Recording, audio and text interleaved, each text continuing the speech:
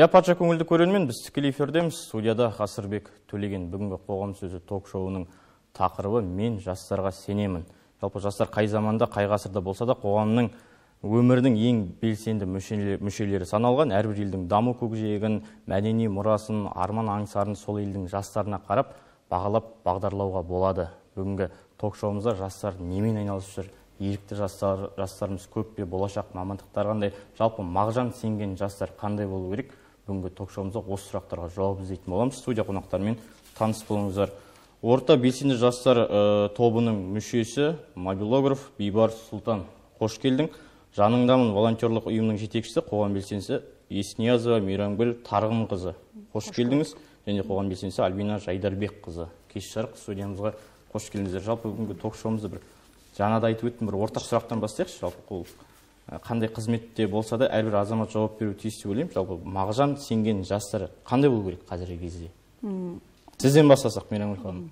Қош келдік. Енді мына көрермендерге және студия қонақтарына қош келдік деп айтамын жалпы енді біздің ә, мемлекеттің жастардың қолында деп бекер айтылмаған ғой біз ертеңгі күні енді қазір біздер ә, жасымыз кішкене егделеу тартып қалып жатыр жастық шақтан кетіп бара жатырмыз. Біз өзіміздің енді болашақтағы өмірімізді осы жастардың қолына сеніп тапсыру үшін ол жастар міндетті түрде бірінші иманды болу керек қайырымды болу керек. Адамгершілігі бар ә, қоғамдық белсенділік арттырылған азаматтық көзқарасы бар. Сондай бір жастар болу керек деп ойлаймын. Иә өйткені сіз сіздің балаларыңыз сіз жасап кеткен қоғамда өмір сүреді кейін иә әрине мен өзімнің өмірімді келесіде осы болашақтағы жастарға тапсырамын ғой. Сондықтан мен өзім сенімді болуым керекпін да осы жастардың адами тұрғыда өзіндік көзқарасы бар белсенді бәсекеге қабілетті ең бастысы адамгершілігі бар иманды болып өсірулеріне бір ауыз сөзбен толыққанда сонда иманды дегенге тоқтасақ болады иә. Бір ауыз сөзбен айтса қандай жастарға сенемін? қайырымды болу керек міндетті түрде. Жүрегі бар адам ол ешқашанда мемлекетке жаманшылық ойламайды.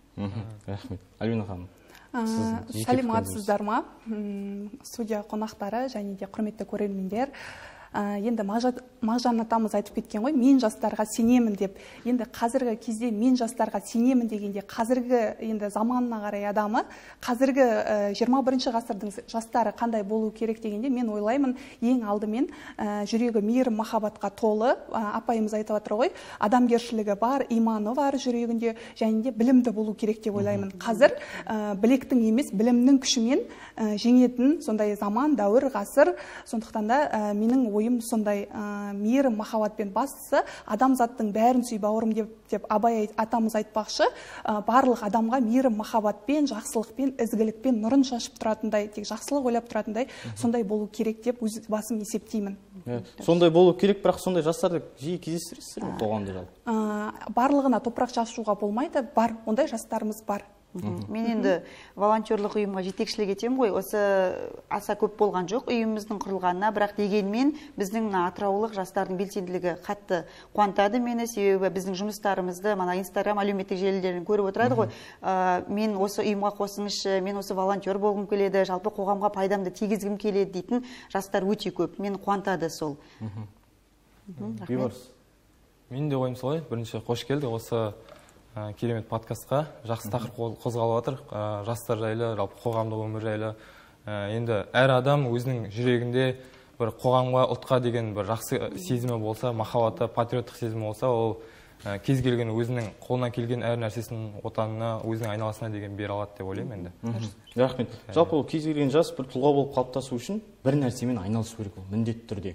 Бос адам тұлға бола алмайды. Ал жастарды бір нәрсемен айналысу мысалы ол жасы жетпей қалуы мүмкін бір тәжірибесі жетпей қалуы мүмкін. Сондықтан студент жастарымыз көбінесе ерікті болуға шақырамыз біздер. Мейрамгүл ханым осы бір көзқарасы қандай? Атыраулық жастардың ерікті болуға. Мен шыны керек көп байқамадым ерікті жастарды атыраудан. Жоқ олай деп мен келіспеймін. Мен себебі осы еріктілердің арасында көп жүрмін ғой. Сондықтан мына біздің республикада осы соңғы үш жылдықтың ішінде төтенше жағдай өте көп жарияланып кетті иә. Арыс қаласында мақтааралда болды. Күні кешегі қостанайымыз бар біздің. Міне осы кезеңдерде біздің атырау өңірінен гуманитарлық көмектер көп жіберілді. Сол гуманитарлық көмектерді жинау насихаттау түнімен күнімен ұйқыларын кәдімгі бөліп уақыттарын бөліп сондай қиын ауқымды жұмыстың басқасынан мен көптеген ерікті жастарды көп көрдім. Біздің өңірде ерікті волонтерлар өте көп. Әсіресе менді жалпы шетелмен салыстыратын болсақ негізі волонтер еріктілер шетелдерде мысалы европаларды қарайтын болсақ көбіне егде жастағы адамдар. Күміс волонтерлар дейді ғой. А біздің қазақстанда керісінше біз енді мына ұлттық волонтерлар желісімен үнемі байланыстамыз ғой. Сол жерлерден статистика анализ алып отырамыз да әртүрлі тренингтардан сабақтар алып отырамыз. Сол кезде байқағанымыз қазақстандағы статистика бойынша ерікті волонтер жастар өте көп екен. Керісінше біздің қазақстан еуропаға қарағанда жастардың белсенділігімен ерікті жастардың белсенділігімен көптеп мақтанады. Мысалы экология бағытында жұмыс жасап жатырған мысалы қаламыздың тазалығына сенбілікке шығып тала егу акциясына барлық жерде де біздің ерікті жастарымыз жүреді. Өте көп. Мен қуанамын ондай жастардың барына. Осыдан кейін мынандай сұрақ туындайды. жалпы ерікті болатында бір жерге келіп тіркелу керек па немесе қалай болады ол? Ә, жалпы енді ерікті болу кез келген адамның өзінің жүрегіндегі ә, имани ғой ә, ешкімге шектеу жоқ. Ол жерде жасқа ұйым керек қой негізі. Топ керек бір волонтерлық жұмыс деген бір көппен бітетін жұмыс қой. Ә, қазір оны мен былай деп тарқатып айтайын жалпы енді кез келген ерікті боламын деген адамның жасына шектеу жоқ. мансабына иә. мансабына шектеу жоқ ешқандай да. Тек жүрегінде адамгершілік мана қоғамға қызмет етсем біреуге көмектесем деген ниет қана болса болды. Жалпы еріктілер олар тегін ақысыз өздерінің уақытын бөліп физикалық манағы өзінің күшін беріп жұмыс жасайтын адамдар ғой. Ә, енді жеке тұлғада ерікті бола алады. Шектеу жоқ ол жерде. Ұйымның кәдім қатарына кіріп сен міндетті түрде бір ұйымға тіркеліп ерікті бол деген міндетті шектеу жоқ. Заң аясында да қарастырылмаған. Тіпті еріктілердің көбі ә, кейбір жақсылықтарын жария етпей де жасап жатады. Жария қылып та жасап жатады жариясыз да жасап жатады. Бірақ мен ә, айтады ғой жаяудың үні, үні шықпас жалғыздың үні шықпас иә жаяудың үні шықпас дейді ғой. Дегенмен көп болып бірігіп жасаған жұмыстарды өз басым қалаймын. Неге? Себебі ә, енді көппен біткен іс ол өнімдірек болады нәтижелірек болады. Сонымен қатар енді біз бұрын ерікті дегенді тек қана қолғабыс ететін мұқтаж адамға қолғабыс ететін адам ретінде ғана қарадық иә?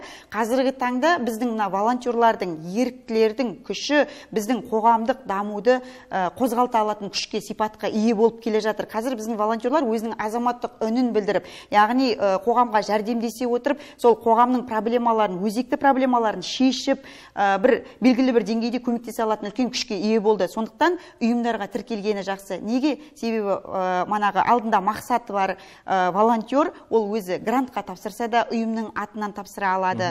Енді себебі ә, манағы ұйымның атынан тіркелген волонтерлерге сенім деген мықты болады. Яғни халық сенеді оған. Себебі ұйымның атынан шықты. Ол жалғыз емес оның қолынан бір нәрсе келеді. Оның артында үлкен күш бар. Басқа да жастар бар немесе басқа да бір толқын бар. Еріп бір үлкен жұмысты атқара алатыны. Мысалы тіпті қоғамдық жұмыстан бөлек манағы гранттарға тапсырған кезде де яғни грант беруші мекемелердің өздері де бұл ұйымға сенеді. Яғни бұл белгілі бір мекеменің имиджі бар мекеменің белсенді волонтер екеніне сеніп ондай жағдайда көп мүмкіндіктер бола алады. Сондықтан негізі енді әрине көппен бірге болғаны дұрыс жастардың да волонтерлардың да. Мынандай тағы бір сұрақ туындайды. Ол жерде жастардың көбі бір жұмыс істеумен ғана елестетеді волонтерлықты ал былай жұмыс істеуді дұрыс шығар жұмыс істеуден бөлек одан тағы не ала алады волонтерлік жалпы біздің мүмкін орта табатын шығар. Мүмкін нетворкинг шығар ол. Иә әрине. Жалпы бізде волонтерлықты көбіне мына қайырымдылық саласымен көп байланыстырып кетіп жатады ғой. Сбор жинайтын болса ол волонтерлық емес. Ол сбор ол қайырымдылық бағыттағы. Волонтер деген өзіңнің физикалық күшіңді немесе жалпы бір белгілі бір уақытыңды бөліп өзің көмектесетін негізгі жұмыс негізі. Енді волонтерлықтан жалпы сұрайды енді. Өзіме де жеке көп қойылатын сұрақ қой. Волонтерлықтан сен не таптың деген секілді мен өзіме жақсы орта таптым. Бұл өте керемет орта. Бұл жерде деген жүрегі бана айтқандай ә, отаным деп соғатын патриот адамдардың ортасы жастар болсын басқа да ә, жастағы адамдар болсын. Бұл белгілі бір өте керемет орта. Бұл жерден деген адамдар жақсы орта табады шыңдалады. Ә, ол жерде енді мана айттық қой мансапқа да қарамайды деп. Мансабы үлкен адамдар да волонтер болады соларға ере отырып олар деген тәжірибе жинақтайды. Бұл ортаның беретіні өте көп негізі. Енді осылай деп қысқаша сипаттап айтайын. Түсінікті. Альбина ханым жеке пікіріңізді білсек өзіңіз волонтер болып көрдіңіз бе? Мен студент күнімде волонтер болып көрдім. Бірнеше шараларда жобаларда қарттар үйіне баратын болдық жетімдер үйіне баратын болдық иә. Тағы да бағанағыдай көмек керек болған кезде студент шағымда волонтер болатын болдым. Қазір мен бір рухани патриоттық клубтың мүшесімін. Ол жерде де бағанағы ол жерде де жастарымыз бар. Бағанағы ол жерде де неше түрлі бана халық қоғам қайраткерлерімен сондай кездесіп жиналып иә рухани жағынан да дамып рухани сұхбат құрып кітап талдап біздер сондай қызмет жұмыстарды атқарып жатырмыз. Мен мысалы айта алмаймын жастардың барлығы қазіргі кезде бір тек қана бір әлеуметтік желіге жұтылып кетіп жатыр болмаса ештеңе бітіріп жатырған жоқ деп. Себебі мен оған келіспеймін өзімнің көзіммен көріп жүрген бүгінгі қазақ жастарының ішінде соның бірі де менмін ғой. Мысалы айтамын иә. Өзімнің көзіммен көріп кәдімгі осы елдің ісіне қалай мына елді ағартсақ болады. Қалай мына елдің ұлттық сана бана елдік сана ұлттық мүдде үшін кәдімгі басын ауыртып сондай жүрген жастарымдың жүргеніне мен өзім куәмін өз көзіммен куәмін. Енді жалпы әрине апайымыз айтып кетіп жатыр ғой волонтерлық жұмыстың берері көп. Шынымен де берері көп. Сен ол жерден ең бірінші өзіңе күшті орта табасың. Өзің сияқты еріктілермен yeah. танысасың орта табасың. Адамға ә, жалпы керегі иә жалпы керегі бір орта ғой сондай бір. Ол ол жерде бәрі бір ә, орысша айтып кеткенде волнада бір толқында деп айтады ма? Ә, сондықтан да және де ә, бағанағыдай өте бір мәнді іс деп білемін. Яғни адамға адамзатқа ә, белгілі бір нәрсеге көмегіңді бере алу оның өзі де бір өте жақсы мәнді іс деп өзім сөйтіп қабылдаймын білемін. Түсінікті рахмет. Бейбарыс қосып өтерің бар ма? Сіз де волонтер болып көрдіңіз бе? Иә әрине. Осыдан екі жыл бұрын ә, келдім осы жолға. Қазіргі күнге дейін сол жолмен сол ә, қызметтермен айналысамын ә, атырауда орта деген команда бар біліңіз білесіздер ә, сол топтың мүшесімін ә, өзім мобилографиямен айналысамын жалпы ә, сол өзім видео арқылы келіп қалдым сол командаға. Негізі оған жалпы волонтерствоға деген интересім болған жоқ бұрын. Сосын өзім видеомен айналысып жүрген соң бір ә, досым шақырды әділет деген сол команданың лидері ә, сол топқа кіріп ә, сол топқа кіргеннен кейін барып менде ә, кішкене білім қалыптасты жалпы орта деген қалыптасты сосын бір ә, ұлтқа қоғамға деген уайым қалыптасты жүректе. Ә, сөйтіп сөйтіп білім алып ә, осылай волонтерство деген жолмен келе жатырмыз. Волонтерство дегенде қалай? Қоғамға қызмет деп айтамыз ғой. Елге қызмет қоғам қызмет. иә ешқандай ақы сұрамай ешқандай ақша сұрамай. иә мейрамгүл ханым бұл жалпы бұл еріктілер дейтін тақырыпты неге қозғап тұрмын? жалпы бұл еріктілер қазақстанның өзінде жастар айналысады. Оны ашып айту керек. Ал сіз өзіңіз көп бір жылдан көп жылдан бері айналысып келе жатырсыз. Байқайсыз ба мысалы ерікті болатын жастар мен ерікті емес жастардың арасында бір айырмашылық? Мүмкін ерікті жастар жанып тұратын шығар мақсат қою бөлек шығар сөйлеу мәнері өзгеретін шығар. Бағана айттық не бере алады деген сияқты ғой мысалы айырмашылығын байқайсыз ба? әрине байқалады ғой. Ә, енді қоғамның жалпы айтады ғой монетаның екі жағы бар да. Yeah. сол секілді біздің қоғамда да жастардың арасында үлкен даулар көп та. Әлеуметтік желіде ашып қаласаң манағы кілең бір бірін соққан ә, студенттер yeah. мектеп оқушылары. Иә әлімжеттікті көреміз да. Біз сосын біздің санамыз осы әлеуметтік желімен қалыптасып қалады. Ой біздің жастар деген бағанағы енді біздің үлкен буындарымыздың барлығы біздің кезімізде деп бастайды. Әңгімесін біздің кезімізде отандық рух деген патриотизм адамгершілік деген мықты еді. Қазіргі жастар ұсақталып кеткен манағы телефонда отырады бар баққандар сол немесе бір бірін мана әлімбеттік жасап жатыр деп. Жоқ олай емес. Бағана ә, сіңлім жақсы айтып кетті. Біздің көрмей жүрген жастарымыз да бар. Ә, ол олар деген мүлдем бөлек өзгеше ойда. Олар ә, қоғамға бір нәрсе берсе екен қоғамды өзгертсе екен? Ә, манағы айтады ғой мың сөйлегеннен бір істеген артық деп. Біздің манағы ә, басқа буындарымыз ой жоқ жастардың қолынан келмейді жастар өзгеріп кеткен деп айтып жатқанда ол жастар жасап жатыр біздерде. Өзіміздің көзімізбен көріп отырмыз да бана рухани дамыту жағы бар. Ә, жалпы қарапайым айтатын болсақ мен мысалы өзім ә, менің тобымда жаныңдамын деген волонтерлық ұйымның жетекшісімін. Ә, мен енді жалпы осы белсенді волонтерлыққа келгеніме өзі үш жыл болды. Оған дейін енді тиіп қашып бағанағыдай қайырымдылық шараларда жүрдік. Бірақ ол кезде мен өзімнің волонтер деген терминмен мүлдем таныс емеспін және қайырымдылықты волонтерлықпен шатастырып жүрдім. Ал енді осы екі мың жиырмадан бастап кәсіби кәсіби деңгейде осы белсенділікпенен волонтер болып айналысқан болғаннан кейін ұйым құрып себебі жастар маған қызығушылық білдіре бастады өзіңіздің тәжірибеңізбен бөлісіп біз сіздей болғымыз келеді дегесін жақсы деп манағыдай енді себебі өзім біте қайнасып волонтерлік білмеймін енді бойымда бар қасиет болғаннан кейін ба мен оны тастап кете алмадым қанша тастап кеткім келсе де. Бірақ дегенмен жастарды жиып қазіргі таңда біздер үлкен үлкен жұмыстар ауқымды жұмыстар атқарып жатырмық біздің ойымызда волонтерлық деген бағана біреуге тамақ апарумен ғана киім берумен ғана шектеліп қалады да. Жоқ олай емес. Сбор жинаумен немесе бана үйге емдетуге деген сияқты сбор жинаумен. Жоқ олай олай емес. Біз өзіміздің қолымызда не бар? Пробоно волонтерство деп айтады. Мысалы мен өзім мұғаліммін. Мен өзімнің уақытымды бөліп ә, әлеуметтік аз қамтылған отбасы болсын немесе жалпы былай қарапайым отбасыдан шыққан адам балаларға мен өзімнің уақытымды бөліп оған мен ә, қазақ тілінен сабақ беріп әдебиеттен сабақ беріп оның мына ұбт дан жоғары балл жинауына көмектесіп бір студент қылып ona мана жәрдемдесем ол да менің волонтерство мына волонтерствода еңбегім бізде тек бір андай қалыптасып қалған қағида бар ғой. Біз тек қана аса бір әлеуметтік қорғалған топтарға ғана көмектесуіміз. Осал топтарға ғана мұқтаждарға ғана баруымыз керек жоқ біздің көмегімізге кез келген адам мұқтаж болуы мүмкін. Қарапайым адам кей кезде болады өмірдің тұрмыс зорлық зомбылыққа ұшырап қалады немесе бір қиын жағдайға түсіп қалады уақытша бір қиын. Сол кезде оларға психологиялық қолдау да керек болады. Сол кездерде мысалы қазіргі таңда жастар белсенді. Мен ә, құттай енді не істеп жатырмын ғой ә, айтып жатырмын ғой жастар туралы. Мен қазіргі таңда өзім алға қойған мақсатымның бірі ә, мектеп оқушыларынан волонтерларды дамытып жатырмыз. Себебі бағана айттым мен өзімнің өмірімді қауіпсіз әрі сенімді адамдарға бергім келеді. Yeah. адамгершілігі бар кәдімгі осы отаным деп патриот болып жүрегі соғатын адамдарға ал олар кімдер? Олар қазіргі мектеп жасындағы балалар. Сондықтан мен қолға алып осы балаларды тек қана оқытып қана қоюмен емес оларға практикалық түрде яғни мен өзім не жасаймын менімен бірге алып жүремін міне балалар қараңдар волонтерствоның түрі болады.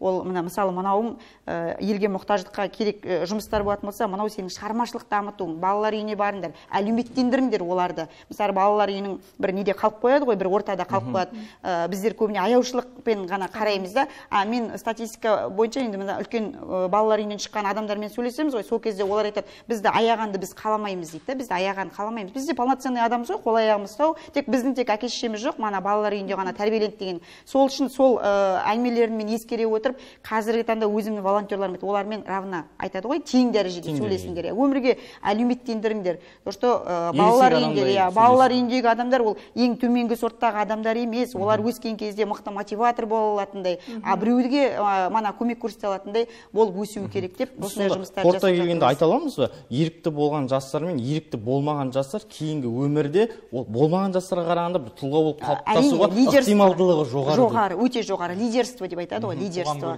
Қоғам қазіргі ата аналар қорықпай ерікті болуға мысалы мысалы сұрауы мүмкін ғой балалары ата анасынан осылай менің достарым шақырып жатыр еді ерікті иә басында иә иә мектеп мына мектеп жасында волонтерлықта мен мысалы дамытып жатқан кезімде балаларды айтты. басында иә бұл қандай жұмыс деп себебі енді ол кездегі буынның өзі волонтерлықты көп білген жоқ қой. Тимури команда деген бір команда ғана жұмыс жасады. Ол кездерде бірақ енді бәрі бірдей ерікті бол деп айта алмаймын. Осы термин соңғы кезде ғой ана қолданысқа еніп жатқаны. Бірақ балаларын жібереді. Басында енді қорқа соқтайды. Енді олар он сегізге толмағаннан кейін жауапкершілікті өзіме аламын ғой өзімен бірге жүргесін. Қазір сенімді. Қазір мен мақтанып айтамын мен өзімнің командам бар мана мектеп жасынан құралған. Олар мені керісінше манағы апта сайын қозғап тұрады. Апай біз жатып қалдық қой апай біз бір нәрсе жасамаймыз ба? Апай бізді ұмытып кеттіңіз ғой деген секілді. Міне қуантады осындай жағдайлар. түсінікті. Жалпы бүгінгі жастарға арнап жатырмыз ғой. Тақырыпта бір омар хайямның әдемі сөзі бар. Лайға түсіп кеткен адамды шығаруға болады бірақ адамның ішіндегі лайды ала алмайсың деп. Жаңа бізде көрмей жүрген жастарымыз бар деп бір айтып қалдық. Бірақ біздің қазіргі ортақ сұрақ болсын. Қан, жастар қандай лайға түсіп кетті? Біз қандай лайдан шығарып ала аламыз жастарды? Осы сұраққа жастар жауап берсін. жастардан бастайық қандай лайға түсіп кетті дегенде қазір негізі бұрынғы ғасырдан да қиын ғасыр деп ойлаймын мен.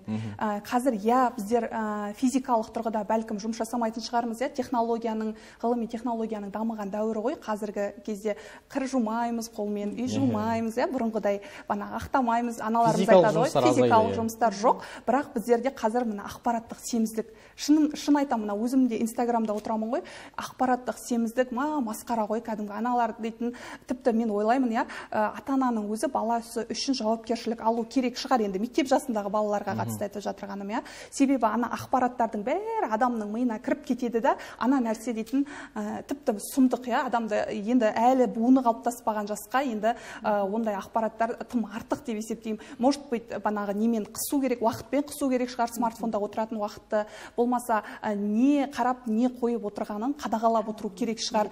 Ә, себебі ә, мына смартфонға жұтылып кетіп жатырған дәуір ғой. Қазір шыны керек иә уақыттың қазір қалай таңның атып кештің қалай батқанын білмей қалатындай сондай ә, заманда сондай уақыт жалғыз ғана менде емес мен ойлаймын барлығында солай шығар деп ойлаймын иә. Хотя біздер банағы үй жуып жатырған жоқпыз шаруаларды. Ондай көп бұрынғыдай енді прямо мұрнымыздан шаншылып жасап жатқан жұмыстар жоқ. Бірақ біздің көп уақытымыз осы смартфонға кетіп қалды алып жатыр. Ол лайды енді оны жүрегімізге түсіріп алу да өзіміздің қолымызда. Одан оны жөнімен пайдаланып бір мәнді мағыналы іске ары қарай қашалып қаланып кете беру де ол өзіміздің қолымызда деп мен есептеймін.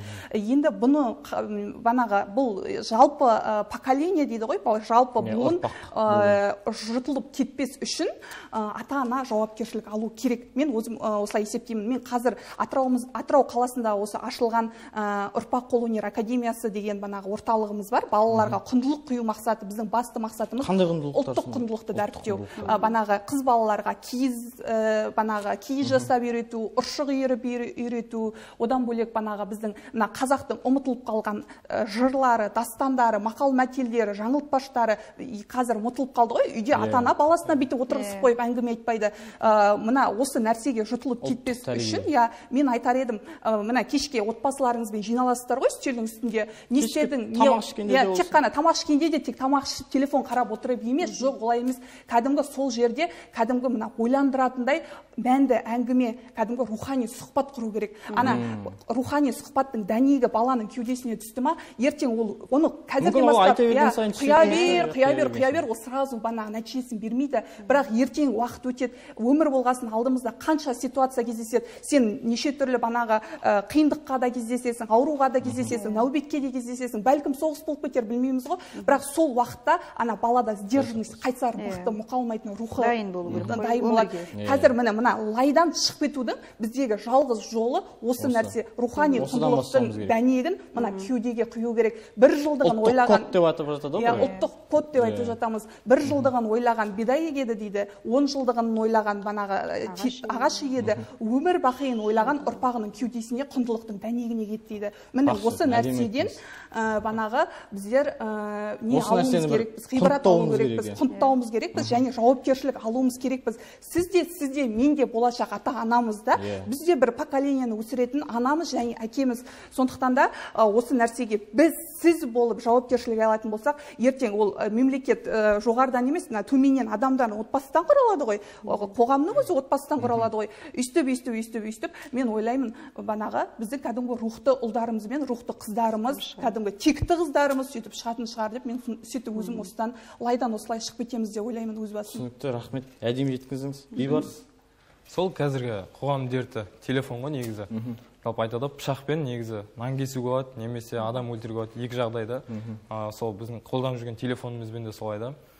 Үйде жатып уақытымызды өткізіп уақытымызды өлтіруімізге де болады немесе онымен жұмыс жасауға да болады.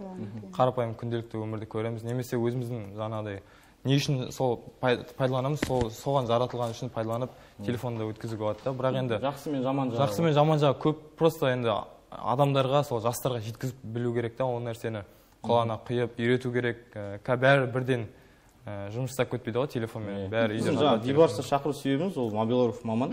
Жаңағы смартфонда көп отырады десеңіздер жұтылады десеңіздер бұл бұл жігіт смартфонмен табыс тауып жүр. Енді қараңыздар бізде жастар жайлы айтып отырмық қой мынандай да бір мәселе туындауы мүмкін. Жастар арасында инстаграм әлеуметтік парақшаларын ашсаңыздар мобилограф смм маманы таргет маманы деп жазып қойып ол курсты оқып алады былайша айтқанда. Бұл жақсы болуы мүмкін бірақ бұның кереғар жағы да бар мысалы. Курсты оқып алады белгілі бір соммада қазір курстар көбейіп кетті сонымен тоқтап қалуы мүмкін. Ал бейбарыс саған бір сұрақ қояйын мына жерде бір талқылап көрейікші сол бір нәрсені. Соны ол мобилограф болсын басқа болсын ол екінші деңгейлі табыс болуы мүмкін мысалы. Қосымша. Мүмкін онымен де тұлға болып қалыптасуға бола ма онымен де өз өзін асырап мысалы отбасын асырауға бола ма. Кейбір жастар сонымен тоқтап қалған. Мен мобилографпын болды мен оқып алдым тек оқып па? енді жалпы адамның өзінің мақсатына байланысты ғой негізі. Мақсатсыз адам енді қайда бара жатқанын білмейді да. Енді сол оқымастан бұрын адам өзінің алдына мақсат қойып жалпы план план құру керек қой өзіне жазып есеп беріп жоспар құру керек. Сол сияқты сондай кім мақсат қойып бір он жылдық жиырма жылдық алдына мақсат қойса және сол курсты оқып ақша тауып сол пайда жұмыс ретінде көрсе ол ойлаймын мен ұзақ мерзімге дейін сол жұмыспен барады және де ары дамып адам тек бір нәрсемен шектелмейді ғой. Дамып одан ары қарай басқа мамандықтарды игеру мүмкін бизнеске кету мүмкін ә, мүмкін сол қоғамның басқа жақтарында үйреніп солай бастау мүмкін да. Бірақ енді жақсы, жақсы баспалдақ болған соң неге үйренбеске деген сияқты. Көп енді мен қазір айналамда да достарым жас шектей ма мысалы? Мысалы сен 15 жастан 20 жасқа дейін болсаң болады мобилограф ары қарай басқа мамандық иесі болуың керек деген сияқты қағида бар ма? Ондай қазір мен ең танитын үлкен мысалы мүмкін отыздағы адам мобилограф бола алмайтын шығар. мен көрдім мен көрдім. мысалы отыз отыз бестегі бір ағаны көрдім мобилографиямен айналысады. Және ә, сіздерге айтайын атырауда топ үш мобилографияның қатарында жүреді. аманов айбек деген біздің ағамыз бауырымыз. Ә, ол мысалы тоқсан екі ме екен қай жылғы екен ұмытып қалып тұрмын сол ағамыз ә, тоже мобилографиямен айналысады. И өзінің басқа да жұмыстары бар да. Бірақ өзін бірінші бірінші санатта мобилограф мобилографпен де таныстырады инстаграмда манағыдай қоғамда өзінің өмірінде. Бұл сонда мамандық бола ма или қалай болады мамандық болғанда өзінің өмір тұлға тұлғалық қой жалпы тұлға. Адам әр адам өз жеке тұлғада ә, оның айналысатын істері оның сол өмір жолындағы құралдары деп алуға болады ғой енді. Мен бұл қозғап тұрған себебім кейбір ата аналар маған келіп қорқады дейсіз ғой хабарламалар келіп жатады. Иә балам менен жиырма бес мың отыз мың ақша сұрайды жаңағы осындай курс оқығым келеді. Болды мен жаңағы оқу орнына түскенмін енді баласының баласының жалпы сондай Иә. ал кейбір кейбір мамандар айтады мобилографтар табыс таппайды сол курсты сатқандар табыс табады деп айтып жатады Ә, мен құттай бір қосымша айтып кетейін. Ә, жалпы біз қазір нарықтық заманда өмір сүріп жатырмыз ғой. Қазіргі таңда біздің негізі ең бірінші ойлайтынымыз сол табыс табу да жасы да бағана айтқандай жасамысы да белгілі бір курстарды оқып алып қолынан келетін болса соны ә, продать етпейді ғой өзін продать етіп ана өзін сату арқылы ақша тауып жатыр. Енді ол ә, дұрыс та болар өзіміздің немізді ас суымызды айырғанымыз бірақ мен кейде ойлаймын ә, жас енді ол біздің біздің поколениенің мобилограф болуы ә, біртүрлі Екі менің талай ойыма иә менің ма? ойыма кішкене кіріңкіремейді себебі менің балам мысалы әке шешең кім болып жасайды дегенде мобилограф болып жасайды дегенде біртүрлі сияқты. Ә, адам өмір бойы білім алу керек. Әрине дұрыс айттың бағана ә, ол баспалдақ бізге. Ә, егер мен қолымыздан келсе иә қолымыздан келсе табыс табуымыз қажет болар. Бірақ ә, кәдімгі сонымен айналысып прям мен ә, қартайған кәдімгі зейнетке шыққанша дейін осы мен мобилографиямен жүремін тек осы тек видеоның айналасында ғана өмір сүремін деу қателік болар міндетті түрде бір мамандық керек болар. Ол мамандық емес. тоқтап қалған адамның әңгімесі шығар иә. иә. өмір бойы білім алу керек. Мүмкін моб- мобилографияның да пайдалы тұстары болар. Басқаша мысалы телеарнаға кіруге немесе басқа да бір сатылық Кино түсіруге деген секілді бір белгілі бір дәрежеде кәсіби дәрежеде өсіп ары қарай соны егде жасқа келген кезде пайдаланып кететін болса ол ұрпағына да мақтаныш болады ғой менің әкем осылай деген секілді. Енді әрине бәріміз де қарапайым жұмыстан бастаймыз ғой. жаппай сондай курстарға мобилограф боламын жаңағы басқасы боламын дегеннен қорықпауымыз керек па сонда? Қорқ- Қалай қорықпау керек болар.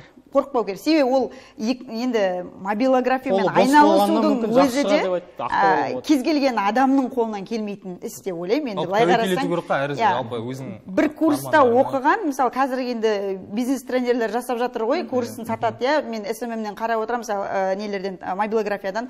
Он адамның бір екеуі үшеуі ғана кәсіби мо- мобилограф болып шығады. Олардың барлығы бірдей прямо кәдімгі бір жарқыратып видеоны түсіріп жарқыратып кәдімгі мен кәсіби Ол себебі адамның өзінің қабілетіне де байланысты дүние ғой. Қабілетіне байланысты. Сондықтан ойлаймын енді оны бір кәдімгі мамандық қылып алып мана зейнетке шыққанша өмірімнің ақырына шейін мен онымен табыс табамын деу меніңше Ол қате пікір қате пікір керек. Әрине мысалы мен оқып алсам маған қазір оқып алсам мен оны табыс таппайтын едім. Мен мысалы өзім жұмыстарымды пайдалану керісінше мен біреуге ақы бермес үшін өзім иә тегін иә. өзімді пайдаланып тегін қабілетімді көрсетіп манағыдай өзім жұмыстарымды көрсету үшін бір бақ- пайдаланатын болармын. Екінші деңгейде ғана. Бірақ мен онымен табыс тауып бағанағыдай етемін деп ойламаймын. Себебі мамандық керек міндетті түрде. Себебі қоғамның ә, несін қоғамды құратын бағана адам ғой. Адам міндетті түрде білімді болу керек. Әйтеуір бір ә, қоғамға пайдалы болу үшін бір белгілі бір мамандықтың хоть ә, мана сварщик болсын хоть мана электрик болсын әйтеуір бір белгілі бір мамандық болу керек деп ойлаймын. Менде бір ресми емес ақпарат бар көзім шалып қалды. Әлем бойынша мобилографтардың көбі қазақстанда екен мысалы.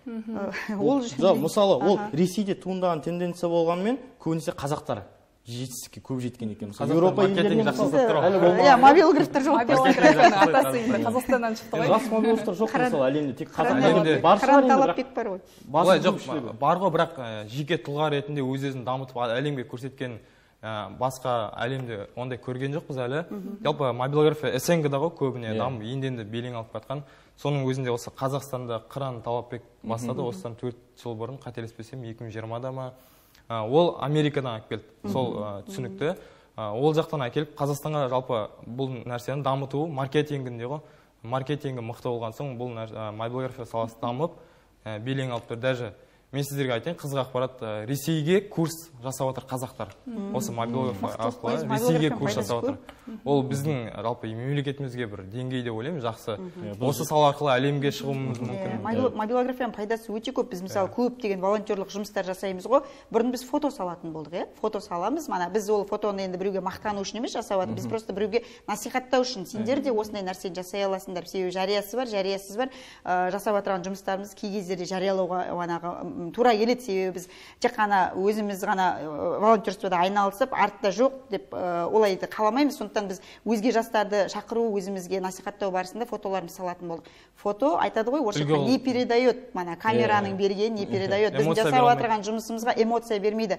Ал мана қысқа ғана манағы фильм деп айтсақ болады ғой мобилография сол сюжетті сол жерде и музыкасының өзі адамды кәдімгідей жан дүниеңді кәдімгі тебірентеді жасалып жатырған жұмыстардың өзі де адамға кәдімгі насихаттауға өте керемет құрал өте керемет құрал. Мен оны жақсы жалпы эмоцияны бере алады ғой эмоцияны бере алады. бірақ енді зейнетке келгенше мен мысалы қыран талапбек ол зейнетке шыққанша президенттің мобилографы болады деп айта алмаймын. Ол белгілі бір уақытта ғана иә ол мысалы өзінен де мықты мобилографтарды дайындап шығарып өзінің орнына дайындау баспалдақ ретінде иә?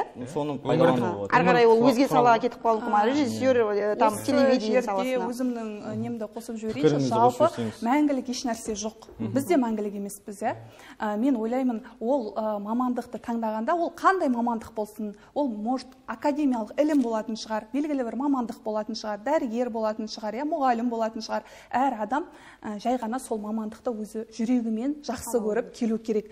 Сіз қай мамандықты жүрегіңізбен кәдімгі шынайы қалап мынау менің мамандығым деп мен осы қоғамның осы жердің бір кірпіші болып қалануым керекпін осы саланың деп ә, қалай солай мейірім махаббатпен кәдімгі сөйтіп жақсы көріп келесіз ол жерден міндетті түрде гүлденетін болады. Ол сала міндетті түрде гүлденетін болады. Өзіңнің мамандығыңды жақсы көрмей дәрігер болғаннан көрі өзіңнің жұмысыңды жақсы көріп құрылысшы болған артық шығар мысалы айтамын иә сондықтан тіпті мына біздер бүйтіп қараймыз ғой мына еден жуушының өзі мамандық мына пол жуудың өзі творчество негізінде түсінген адамға.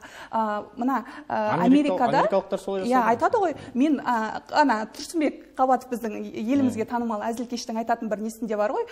Бізде қазақстанда еден жуып жүрсе не еріккеннен жуып жүр дейсің ба деп бір ана ненің ішінде айтады тырнақшаның ішінде. А басқа елге барып соны сұраса мен қандай бақыттымын мен осы көшені сыпырып тазалап жатырмын таңертең адамдар осы көшемен жүреді мына көше әлемді банағы не шаң қоқыс басып кетпейді менің арқамда мен әйтеуір осы бір қоғамның бір үлес қосып жатырмын деп өзінің ісінен мән көреді. иә енді қазір заманына қарай адамы мен де кәсіпкермін мен де жеке кәсіпкермін және менің де товарларыма банағыдай тауарларыма реклама жарнама керек иә. Менің де банағы жұмысыма мобилографияның осы бір несі керек болды. Мен өзім үшін кәсіби мобилограф емес бірақ өзім үшін оқып алғанмын. және де бізде банағы орталық орталықтың жұмысына да қазір мысалы шынымен де кәдімгі любой бизнеста любой бизнеста без инстаграмы дамымайды. Без инстаграм сен инстаграмда интернетте болмасаң сен бизнеста жоқсың деген сөз. Қазір ешкім былай енді қазір шынымен де дамытатын тіпті үйге суши пиццаның өзін инстаграмнан көріп рекламадан көріп беріп жатамыз ғой. Киімнің өзін тіпті алматыдан заказбен алғызатындай сондай дәрежеге жеттік қой тақырып бастаған себебім жастардың жаппай сол бағытқа бет бұруынан аса бір қорқатындай қорқатындай емес деп ойлаймын. себебі біреу ақша табу үшін келеді әрқалай мақсатпен келеді ғой. Бірақ мен ойламаймын ол мақсаттың барлығы прямо бір өмірімнің соңына дейін осы мобилографпен болып жүремін деп емес басқа мамандық адамның аңсары алатын шығар. Адамның ерік қалауы таңдау еркінде ғой. Бір ағамыз айтып еді айналыса берсінші құмар ойын ойнағаннан жақсы ғой деп. Сол сияқты. иә мынандай бір нәрселер бар. Ахмет байтұрсынов айтады балам дейтін ел болмаса елім дейтін бала болмайды дейді біз жаңағы жастардан бір нәрсе сұрамастан бұрын мынандай сұрақ қоюымыз біз жастарға не беріп жатырмыз қолдау беріп. Иә осыған өзім жақсы көретін сөзім бар иә. Осы не беріп жатырмыз біз? Мүмкін біз беруге тиіс шығармыз бір нәрсе қоғам бір нәрсе жастарға дайындау керек шығар бір. Мен сол өзім жақсы көретін сөзім жақсылықты біреуден күту үшін бірінші өзің соны жасап бастау керек деген. Біз өзіміз үлгі болу керек. Мен мысалы енді жастарға беретін бір өсиет бір үгіт насихат бір айту үшін мен өзім соған сай болуым керекпін менің бойымнан көру керек ол қасиетті. Маған ә, ұнамайды. Мысалы мен мына жерде келіп өзім жасамайтын жұмысты келіп ойбой жастар деген бүйту керек жастар деген былай жасау керек жастар деген рухани бай болу керек егер мен өзім рухани таяз болатын болсам ішкі ойым келіп манағы құр көпшіліктің алдында жастардың алдында қолымды сермелеп тұрып әдемі сөйлегенмен не пайда егер мен өзімнің беретін пайдам болмаса. Ал сол ортадан шығып біреу апай айтыңызшы сіз өзіңіз не жасап едіңіз? десе мен мысалы оған жауап беретін сөз таба алмайтын болсам не пайда. Сондықтан ең бірінші жалпы кім болса да біреуден бір нәрсені сұрап немесе талап ету үшін немесе жалпы біреуге бірдеңені насихаттау үшін оны өзінің бойынан іздеу керек деп ойлаймын. Мен қуанамын волонтерлықта жүргеніме. Мен жастарды волонтерлыққа шақырғаныма қуанамын сондай сұрақ қойса мен ойланбай жауап беремін мен ойланбай жауап беремін себебі мен айтамын адам қайырымды болу керек деймін. Себебі мен өзім қайырымдымын. Адам мейірімді болу керек. Біреуге мұқтаж болсын мұқтаж болмасын қолынан келсе демеу жасау керексің деп. Себебі мен оны өзім жасап жатырмын. Себебі мен өзім үлгімін. Себебі менің есімім үлгі. Себебі менің ә, суретім үлгі. Ай мынау мерапай ма? Иә мерапайды біз білеміз ғой осындай жұмыс жасап еді ғой. Деген секілді иә айналысып еді ғой деген сияқты иә ол дұрыс айтып отыр өзі жасады ғой кезінде деген секілді. Біз өзіміздің бойымызға бірінші рухани құндылық болсын адамгершілік құндылық мана қарапайымдылық құндылық болсын барлығын өзіміздің бойымызға сіңіру керекпіз. Ары қарай екінші қолпаштап отыру керекпіз міндетті түрде. Бәсекеге иә бәсекеге орын алдырмау керекпіз. Кей кездерде болады бір белгілі бір иә мекемелерде болып қалады. Кейде мысалы жастарға орын бермей жатады иә. Мен мен деген ұранменен жүреді жоқ. Біз кейбір көп адамның ә, көп емес жалпы адамның маған жақсы айтты. Біз мәңгілік емеспіз. Біздің де дәуіріміздің бітетін уақыты болады. Мысалы мен кезінде осыдан үш жыл бұрын мен керемет волонтер белсенді волонтер болған болармын иә. Әлі де волонтерлық салада жүрсем де қазір менің артымнан менің есімімді басып келе жатқан жаңа волонтерлар бар. Мен қуанамын мен бәсекелеспеймін олармен қуанамын что біздің елімізде осындай белсенді жастардың барына. Себебі мен жалғыз өзім бұл әлемді немесе бұл ә, қоғамды құра алмаймын бұл мемлекетті құра алмаймын. Сондықтан көп болып бірігу үшін бағанағыдай жастар белсенді болу керек. Ал қолдау міндетті түрде қажет. Әй жарайсың деп қателесуі де мүмкін. Кей жағдайда иә кей жағдайда енді жаңадан бұл салаға келіп кіріп келе жатқан адамдар мысалы жастар қателесуі мүмкін бағанағыдай айыра алмауы мүмкін сбормен айналып мысалы қазіргі таңда бізде волонтерлықта кеше енді форум өтті ғой президенттің қатысуымен біздер соған қатысып келдік иә сол кезде айтты бұрын волонтер дегенге кез келген адам барып мана қол көмегін бере беретін болса енді қыз бәрін бәрін жинақтауымыз керекпіз деді упаковать етуіміз керекпіз біз оның ережесін шығаруымыз керекпіз заң бар ғой енді өз алдына. Бірақ сол заңның енді жұмыс жасауына біз енді әрекет етуіміз керекпіз деді өзге елдерден мемлекеттерден бағанағы үлкен ұйымдардың волонтерлық ұйымдардың басшыларын шақырып тәжірибе алмасты. Бұл неге керек? Біз қазіргі таңда ә, волонтерлықта алаяқтықтар көбейіп кетті. былайша айтқанда. Ә, белгілі бір енді қазіргі таңда белгілі бір неде жүру керек иә. бір заңмен жүру керек деп айтамын. ережемен жүйемен жүру керек. себебі оған себеп болған түрткі болып жатқан жайт кеше президенттің өзі де атап өтті. Алаяқтық көбейіп кетті қазір. Қазір сбор ашады манағы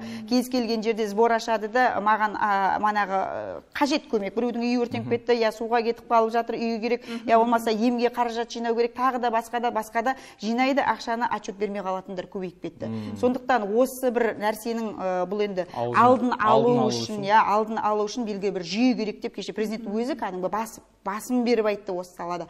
Сондықтан қолдау бағанағыда енді кей жағдайда айтып жатырмын ғой жастар бізге келген кезде көбі волонтерлықты ең бірінші манағы әлеуметтік қолдауды көмек қажет ететін топтан бастайды иә. Балалар үйіне барудан бастайды қарттар үйіне барудан бастайды біреуге сбор жинаудан бастайды. Ол дұрыс та болар себебі волонтерлықтың тереңін негізгісін түсіну үшін ең бірінші сондай неден сезіну керек иә сезіну керек алғашқы. себебі әлеуметтік аз қамтылған мана қорғалатын адамның үйіне барған кезде сен оның өзің көзіңмен көрген кезде өзің сонымен коммуникацияға түскен кезде сен сезінесің оны оның ауырысын аласың өзіңе.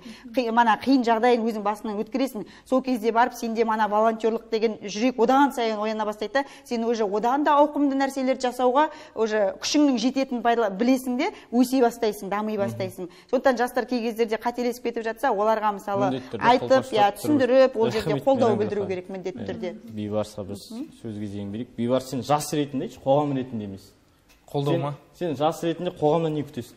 Енді жалпы біреуден бір нәрсе күту енді қиын нәрсе біреуден бір нәрсе күтіп отырып қалсаң ал отырып сол нәрсені күтіп ұзақ уақытыңды өткізіп аласың да белгілі бір уақытта бір нәрсені жасайын десең ә, негізгі поддержка деген ол жүре бара қалыптасады да ол сен жолды жалпы істі бастау оны жолдың жартысымен жүргенмен тең дейді сол жартысымен жүріп сол жолда өзі қолдау беретін адамдар табылады негізі. Сол бір мақсатта сондай мақсаты бар мүддесі бар адамдар ол өзі жолда қосылады ештеңе істемей бір қолдау күтудің қажеті жоқ ол ештеңе істемей қолдау күту ақымақтың ісі ғой негізі ол. әрекет жасап өзің бір мақсатыңа деген бір жалпы планға деген жол бастап кетсең ары адамдар өзің сияқты мүддесі бар адамдар жолдан қосыла береді да ол.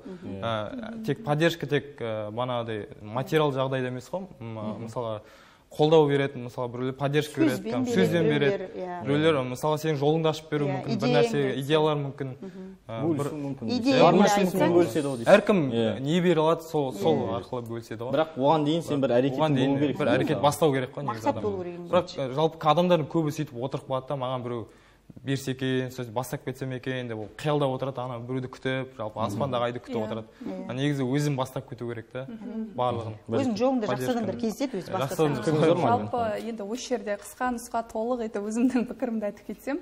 Ә, жалпы дұрыс айтып жатырсыз өзіміз әрекет етпей ол біреуден бірдеңе күтіп отыру таза ақымақтың ісі. Иә шынымен де ә, жасаған адамға берекеті бар міндетті түрде. Мысалы кәсіп жағынан болсын бізде елімізде бірнеше бағдарламалар бар иә кәсіпкерлерге арналған. Ә, міне мен өз көзіммен көрдім өзім алып алмадым да бірақ кәдімгі мемлекеттік гранттарды алған субсидия алған үкіметтен. Енді ол да жас кәсіпкерлер былайша айтқанда енді кәсіп жағынан айтатын болсам біздер бәрібір де мысалы бір біз мектеп оқып жүрген шақта өйстіп айтатын еді да? Ой біздің қазақстан дамиын дегенше мен қартайып қаламын мен шетелге кетіп қаламын өскеннен кейін деген поколение болды ондай әңгіме айтқан. Мен күні кеше ғана мәскеуден келгем.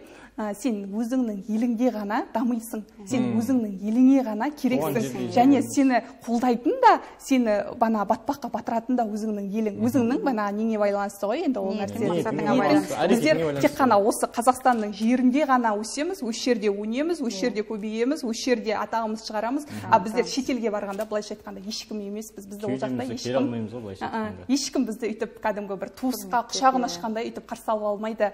Енді үкіметтен не күтеміз? Банағы қоғамнан жастардан жоғарғы буыннан не күтеміз дегенде мен айтар едім тарихи тізбекке кер жалғануымыз керек шығар. Тарихи тізбектен ажырап қалдық қой біздер. Енді мына кәдімгі тарихқа қарайтын болсақ та жетпіс жыл енді отарлану саясаты болды иә. Біздердің мына молда сопы ишан тағы мына қари дін білетін кәдімгі мына неміздің бәрін мына бүйтіп яссауи бабамыздан бастап келе жатқан бүйткен құндылықтардың бәрін жоқ қылып жіберді ғой. Кітапханаларды өртеді қаншама біздің нелеріміз кәдімгідей былайша айтқанда қайта жазды деген қайта жазды дегенде иә. Біздер мысалы бір елге тәуелді қылып тастады. Біздер солардың арқасында адам сияқты болып қалған ел сияқты болдық та. Соны мысалы біздің мына тарихымызды құндылықтарымызды барлығын мына рухани моральды түрде соның барлығын алған ұрпақ мен ойламаймын бір андай жатып ішер жалқау иә. намыссыз рухсыз ондай болады деп ойламаймын. Ананы білген кезде мына өзіміздің көзіміз жанып кәдімгі өмір сүруге таңертең ұйқыдан тұрған кезде кәдімгі өзіміздің не істейтінімізді біліп өмір сүруге деген құлшынысымыз оянып ары қарай ә, сондай болады деп ойлаймын. Себебі сен кімсің дегенде мен осының ұрпағымын мен осындай текті елдің несімін менің осындай ата бабамнан қалған құндылықтар бар деп осы мына тарихи тізбекке жалғанатын болса проблема осыда қазіргі кезде. Мен кәдімгі жүз пайыз сеніммен айта аламын. Проблема осы тарихи тізбектен айырылып қалғанымыздың кесірінен.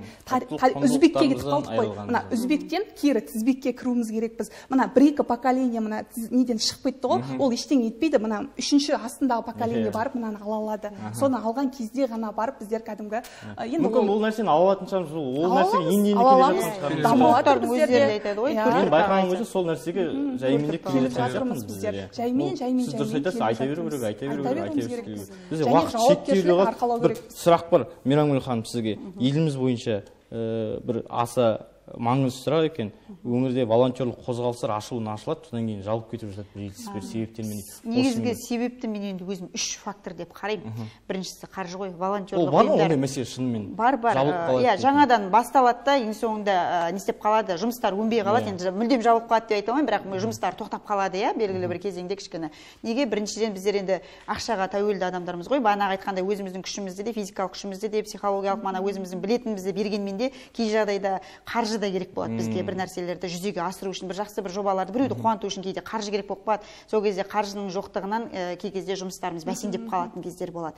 Екіншіден жақсы басшы болу керек. Басшы бұл ұйымның жетекшісі лидер болғанда да андай болу керек. Формальный емес неформальный деп айтады ғой.